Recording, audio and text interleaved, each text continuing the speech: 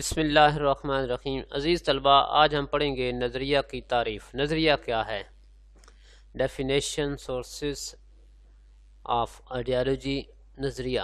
لفظ نظریہ اپنی تعریف اور معنی کے لحاظ سے ابتدا ہی سے سماجی جانورشوں کے درمیان اختلاف رائے کا بحث رہا ہے۔ مختلف ادوار کے مکاتب فکر اور محققین نے اسے اپنے اپنے انداز میں بیان کیا ہے۔ معنی کے لحاظ سے نظریہ سے مراد سوچ یا مقصد ہے، جبکہ اصلاحی معنوں میں نظریہ کی تعریف اس طرح بھی کی جا سکتی ہے۔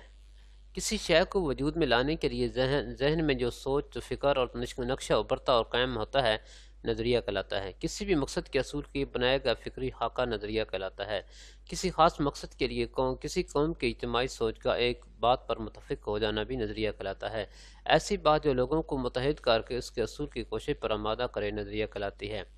نظریہ سے مراد ایسا ضابطہ یا پروگرام ہے جس کی بنیاد فلسفہ و تفکر پر رکھی گئی ہو۔ اور انسانی زندگی کے مختلف پہلو، مثلا سیاسی، معاشرتی اور تہذیبی مسائل کے حل کے لیے کوئی لاحہ عمل بنایا گیا ہو۔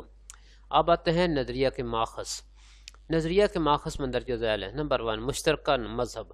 مذہب محض عبادات کا مجموعہ نہیں ہوتا، بلکہ وہ کسی قوم کی پوری معاشرتی زندگی کو متاثر کرتا ہے۔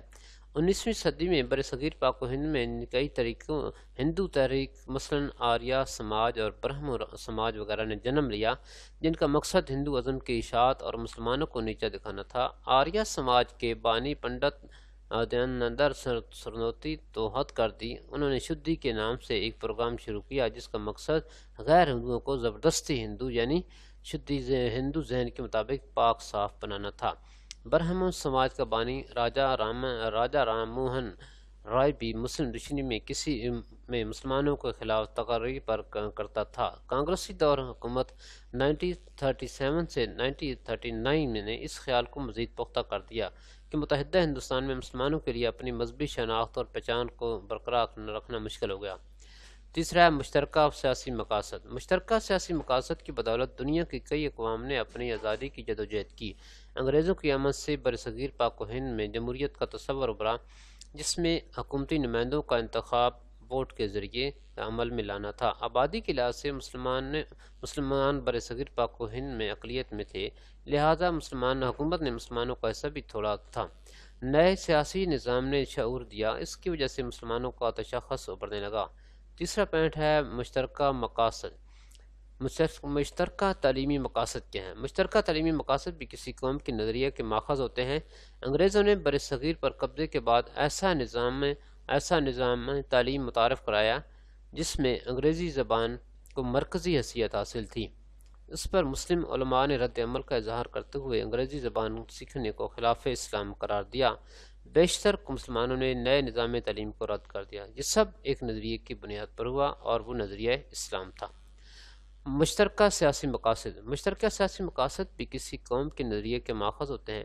اٹھارہ سو ستاون جنگ آزادی کے بعد انگریزوں کی ہمدردی حاصل کرنے کے لیے ہندو انگریزوں کو یہ بات سمجھانے میں کامیاب ہو گئے کہ جنگ آزادی میں مسلمانوں کا کردار زیادہ تھا اور وہ مستقبل میں بھی مسلمان دوبارہ اس قسم کی کوشش کر سکتے ہیں۔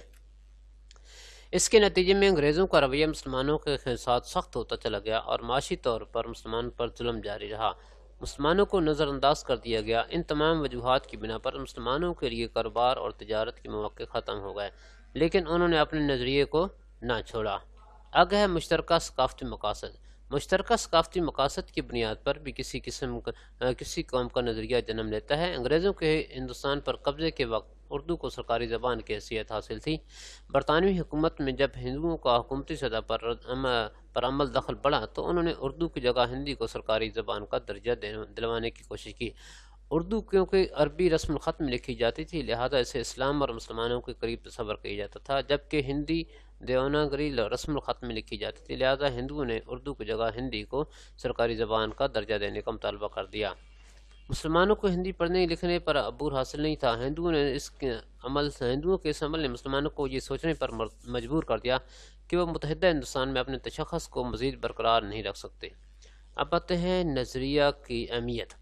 نظریہ لوگوں کی سوچ کی عکاسی کرتا ہے۔ اقوام عالم اسی وجہ سے نظر انداز کی جاتی ہیں۔ اس نظریہ انسان کے ایک دوسرے کے ساتھ قومی حقوق و فرائض کی وضاحت کرتا ہے۔ نظریہ قوم کو متحد رکھنے میں مددگار ثابت ہوتا ہے۔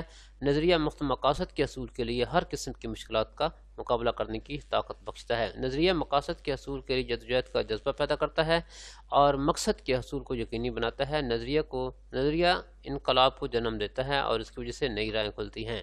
کوئی بھی نظریہ فوراً وجود میں نہیں آتا، بلکہ اس کے پیچھے کچھ واقعات کام کر رہے ہوتے ہیں۔ عام طور پر نظریہ ایک معاشرے کے پسماندہ لوگوں میں محرومی کو ختم کرنے کے لیے وجود میں آتا ہے۔